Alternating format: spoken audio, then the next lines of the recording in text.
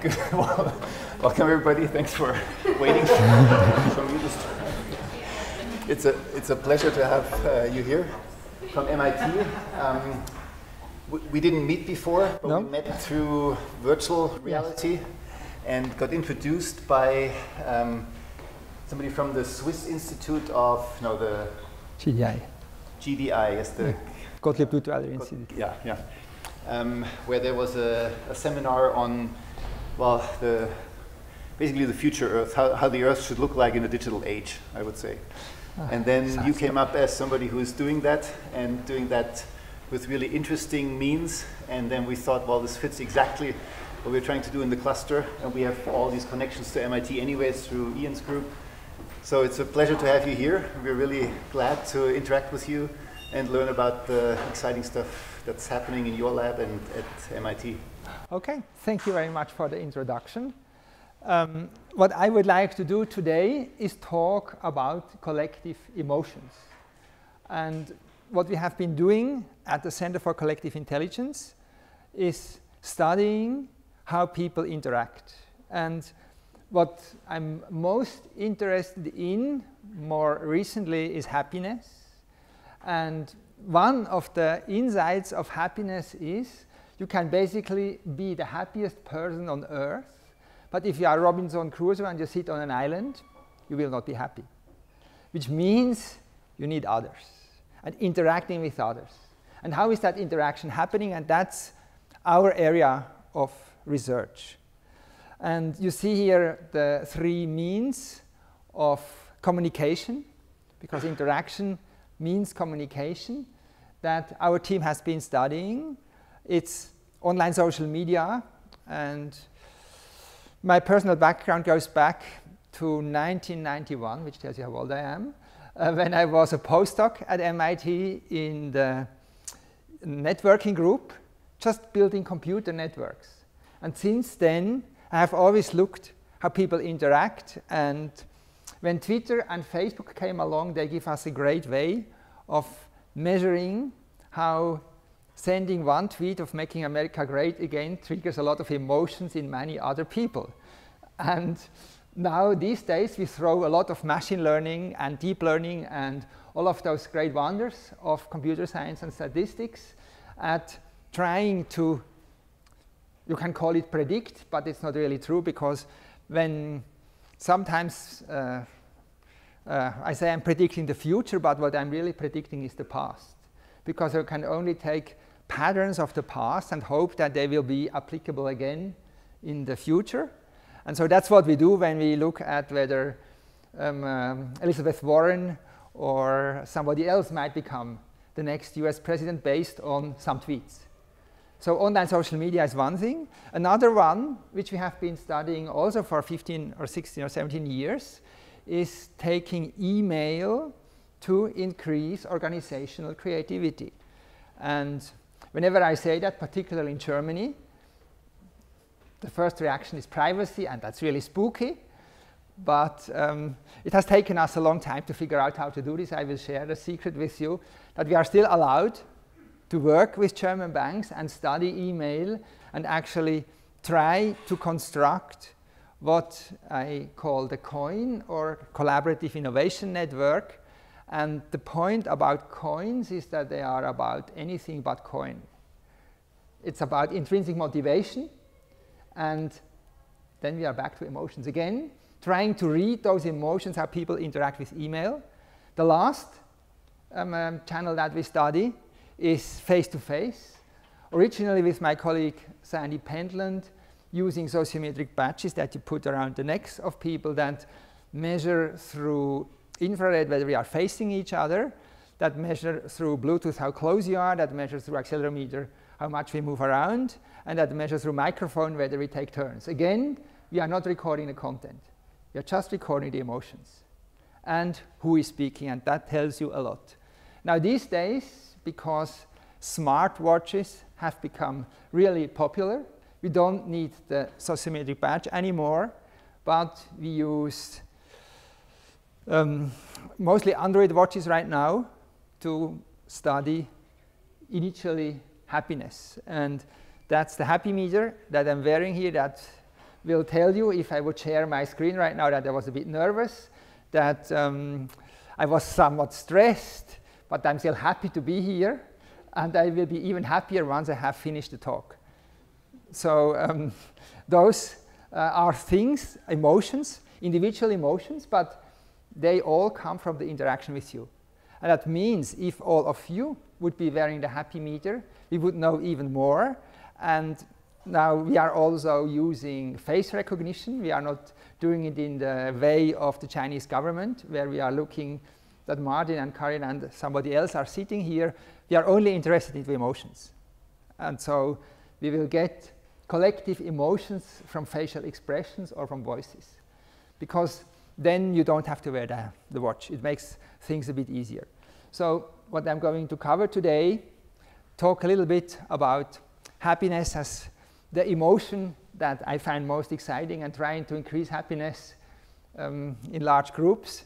That's something which I think is really interesting and worthwhile. Um, we have started with happiness of people, but now we are just applying the same facial recognition libraries to happiness of horses and dogs.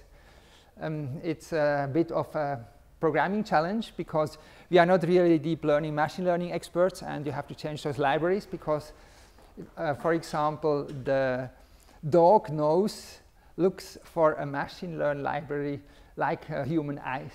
So you have to make some changes to that. And um, now we are even trying to see whether we can get some happiness of plants. Um, but the, that's not the topic of today.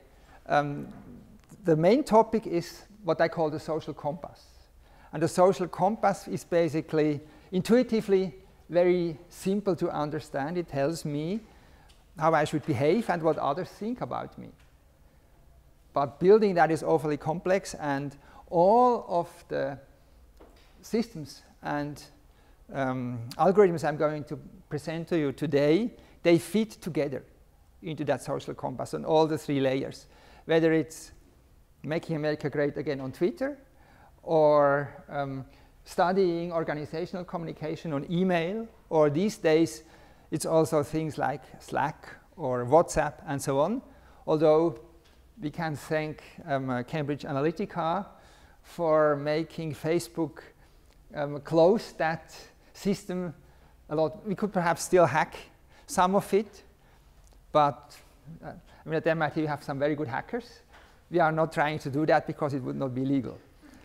Um, and then we have the facial and other body um, signals that are the most interesting. The closer we can get to the human body, the more we get and learn about emotions.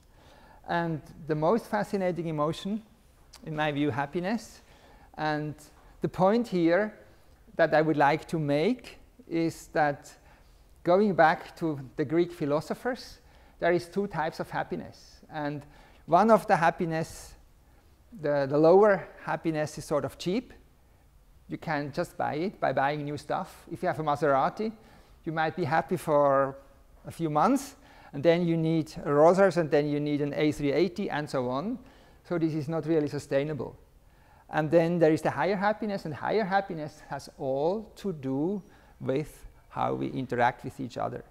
And that's what we think is, interact, uh, is interesting. And interacting with each other basically means knowing what um, others think. And speaking about collective emotions, all of us have experienced that. I'm old enough to remember the day when Diana died, and that was a day of global mourning.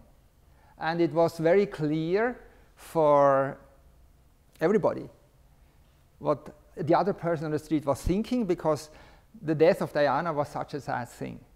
That means we had collective um, sadness. I was in Boston when the marathon bomber was um, bombing the Boston Marathon, and that was a day of collective fear. And again, that was horrible, by the way. I was in my house, locked in. The, only the army was in the street, and nobody could do any work anymore because we were so glued to Twitter. Because Twitter was the best means of communication in those frantic two days. And I mean, it was really around MIT. He was, some MIT police officers were also killed the marathon bomber. And it was just fear, fear for everybody. And then, more recently, you can get collective anger, like when Mr. Trump decided to um, uh, skirt around Congress and find other ways of building the wall, and that triggered a lot of frustration in places like Massachusetts.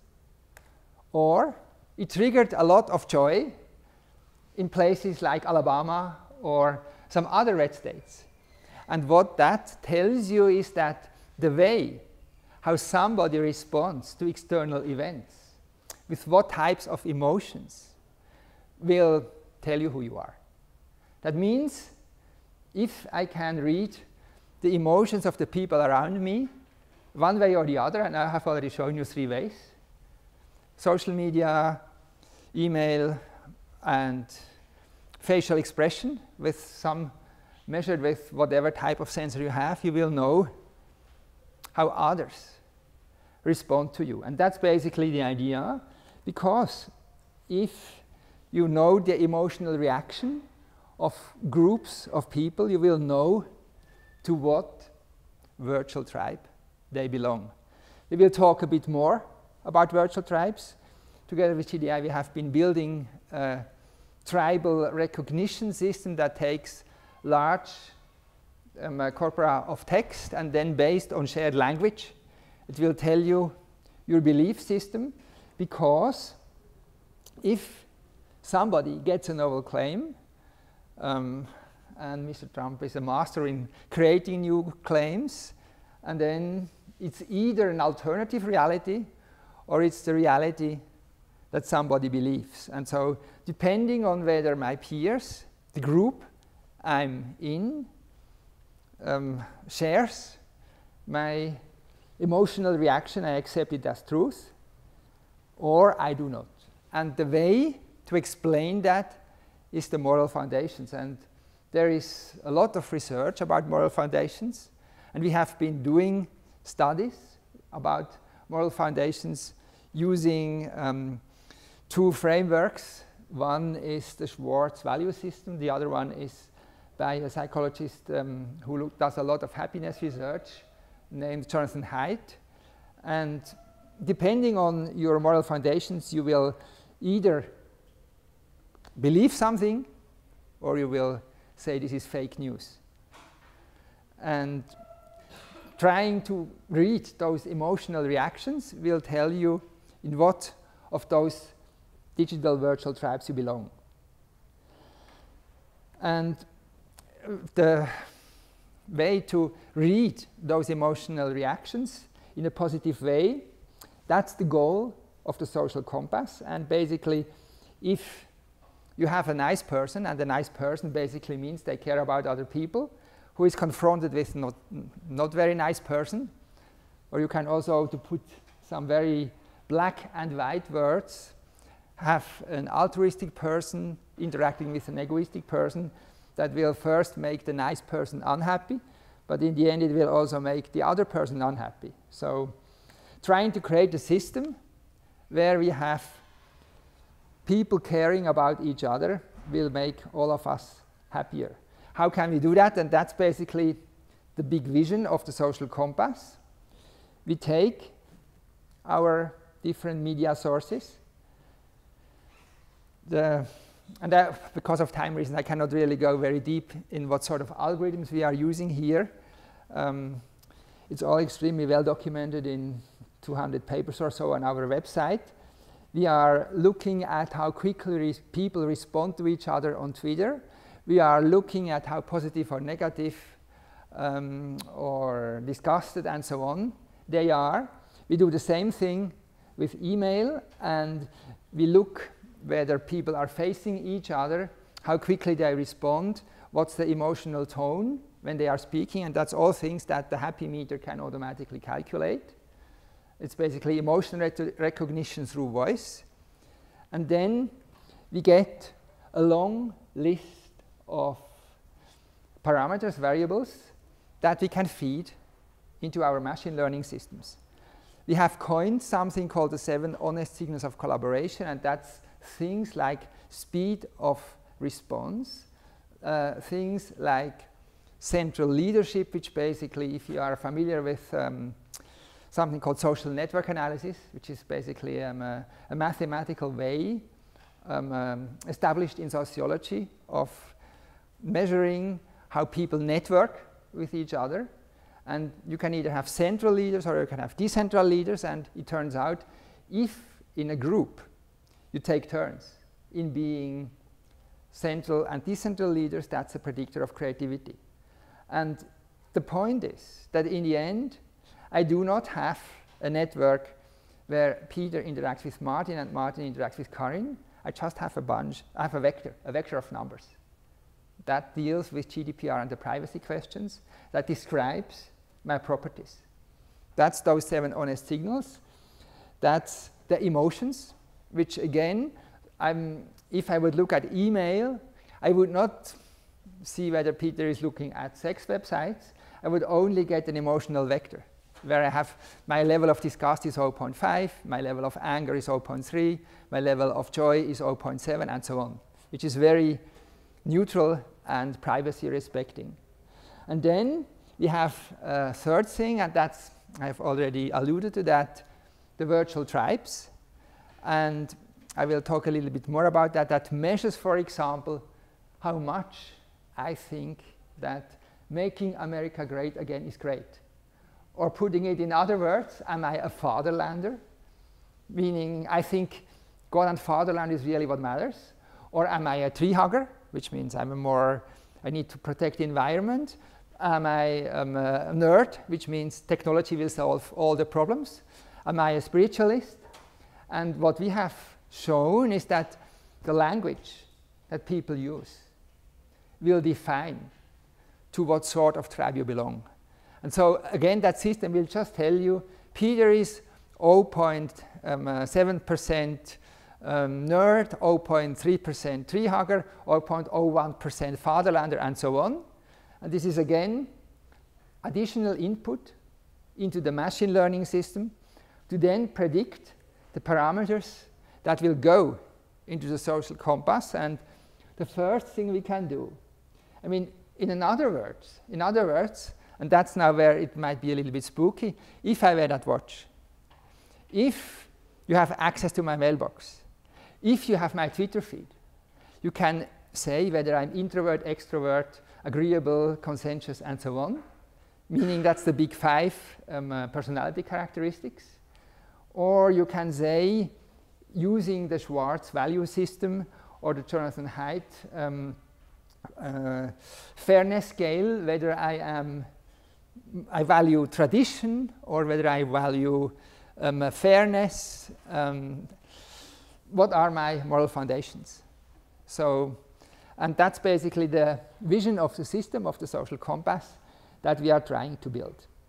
And um, now I will go a little bit more in depth and talk a little bit about the middle layer and those components that we have developed on the global layer taking online social media on the organizational level with email or Slack or those sorts of um, communication media and on the interpersonal level with the happy meter.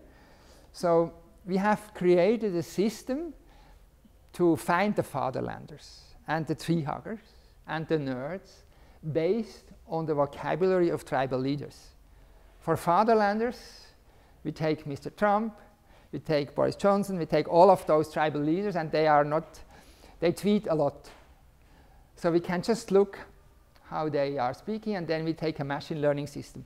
And we feed a few hundred the tweets, the language, the words of a few hundred tribal leaders into the machine learning system, and out we get a keyword vector that will, if it's matched with my own tweets, tell me how much I am a fatherlander. And this can be applied to um, any uh, person you can basically take your vocabulary. Um, there is an online system. Uh, at the very last slide, you will see the web link to try it out for yourself if you have a Twitter feed. But um, it also works with email or with other um, text that you produce. This is basically just the architecture, how it works. I don't think um, I will go into great detail. Um, the idea is that you take deep learning and an algorithm called LSTM to train the system and then finding the words that are most descriptive of, for example, my own tweets. So I'm sharing here my profile, but actually you could look at that online. And you could look at anybody else's profile also online, and then you would see whether somebody is a fatherlander or a tree hugger or a spiritualist, whether it's a risk taker. I mean, another um, uh, system which we think is also interesting is we wanted to find out whether people say the truth. And so we were thinking, what are, what is a tribe of people that is perhaps not saying the truth but always lying? And we thought it might be the politicians. They are not paid to say the truth, they are paid to say whatever their voters want to hear.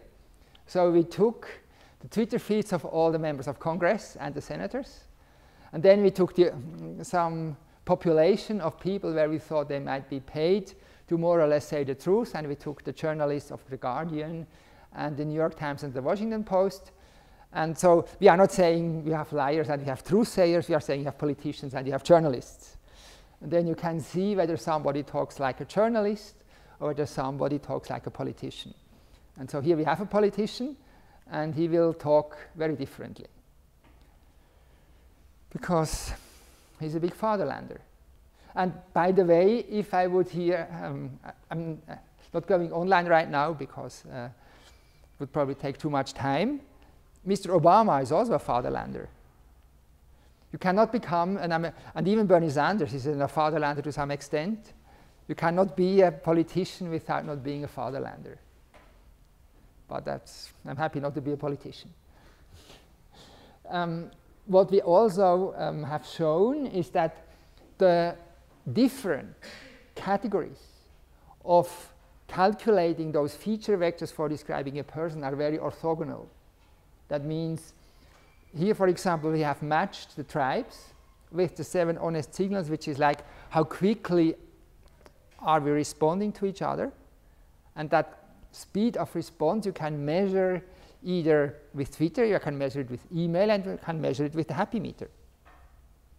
Because it will measure whether I'm shutting up, whether it's my voice that speaks, or whether it's somebody else's voice that speaks. And that's all we are measuring. And then the emotional, we are using machine learning and training it. There is uh, some uh, training data sets for emotionality of voice. And then we are also uh, capturing that. So this is the global way of trying to understand a person. We also do it with email. The trick with email is to make data only recognizable to the individual that it is um, that's being analyzed. And that means whenever we do a project with a big company, and now we have worked with companies like Ford or ExxonMobil or some very big banks, also in Germany. And the deal is always, and the Betriebsrat has bought into that, that the manager will never know what we find out. Only the individual person will get the result of their individual analysis. And this looks then like such a dashboard where you see in the language of the honest signals, in the language of the social compass, who you are. And at the same time, we calibrate the system with the dependent variable, which is the performance variable of the company. So in that dashboard, the, this person will see how quickly others are responding to them. And we have shown that happy people answer email faster. So for example, just the speed of response is a predictor of happiness, but it's also a predictor of passion and respect. If Peter sends an email to Bill Gates, who cares?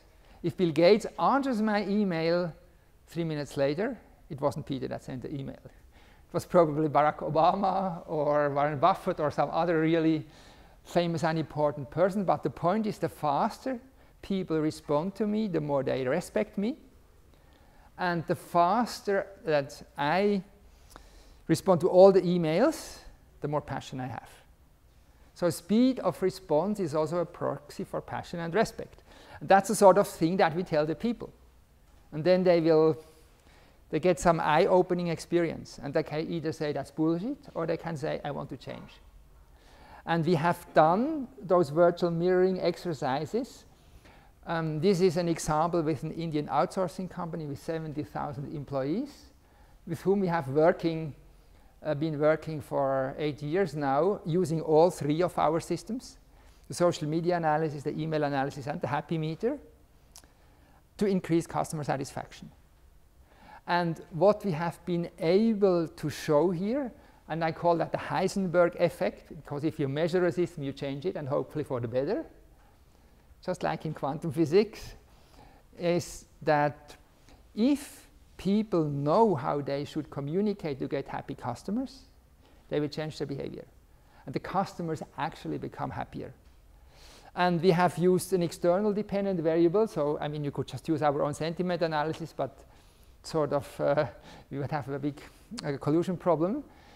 But um, we used something called Net Promoter Score, which is asked directly um, from an external um, um evaluator, um, how likely are you to recommend that particular company? And that was the dependent variable, and they have been tracking that for de a decade now. Every half year they are doing those big surveys. And in this company, they have 70,000 employees. They have 240 large companies. Those would be companies like Deutsche Bank, for example.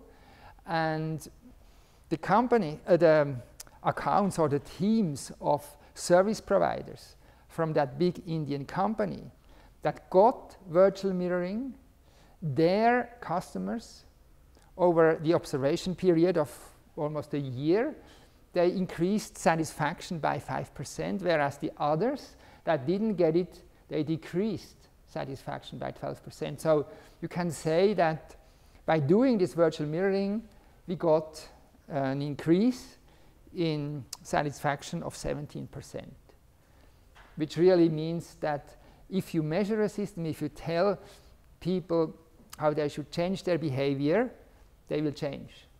Now, of course, you can question whether it's the Hawthorne effect or the Heisenberg effect. And I think we will need to do much more projects. And that brings me to the last way of measuring satisfaction with the happy meter, because that really gives you the most direct way of measuring satisfaction. And what we have done here, we take the sensor readings of the watch and we have used something called experience-based sampling, where at the random time per day, four times per day, the watch vibrates. And then it asked, I, I recruited 100 students to wear the watch for three months, um, their happiness. And that was the basic training data set.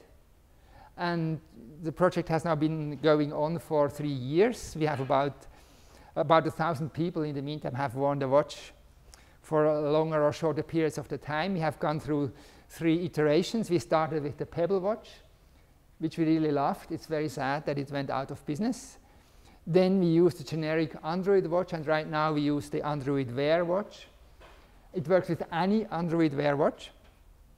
And it takes that data from the watch.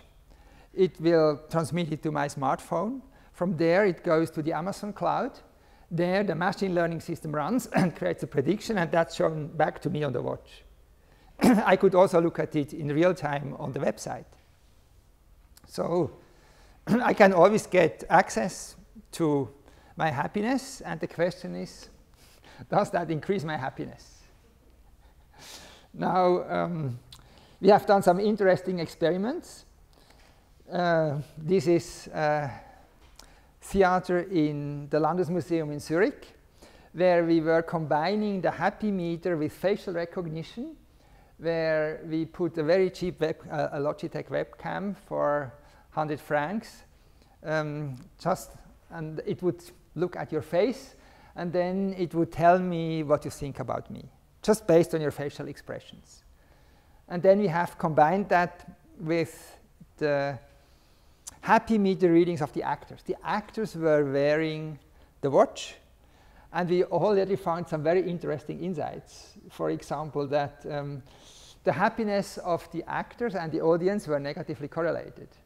And when the, the actors were really sad, the audience was really happy. but it seems, I have spoken with some uh, theater professor about this, that seems to be a well-known effect.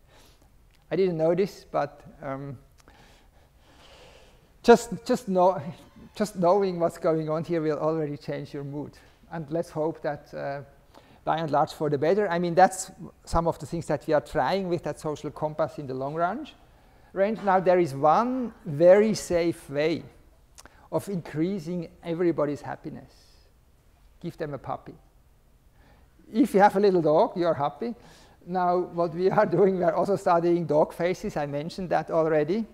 And we built that system, which um, was really hard to, to port it from recognizing human faces to dog faces, and then it will um, predict that. We are working right now uh, on horse faces because horses and dogs, they are the most in sync with over the course of evolution. They have really, we have become very um, uh, good in reading each other's body language. And the final vision, and that's the slide which with I would like to close, is basically to combine that system um, and also integrate external factors. External factors on the one hand is things like sunlight, like the weather. It turns out that if we look at happiness just measured with the watch, more than 50% of my happiness is the weather forecast. So now we always take the weather forecast from the smartphone because we know where you are and Google gives you a very accurate weather forecast, and we add that to the model, and this is already um, good enough to give us a very high accuracy. We want to add more features like lighting effects.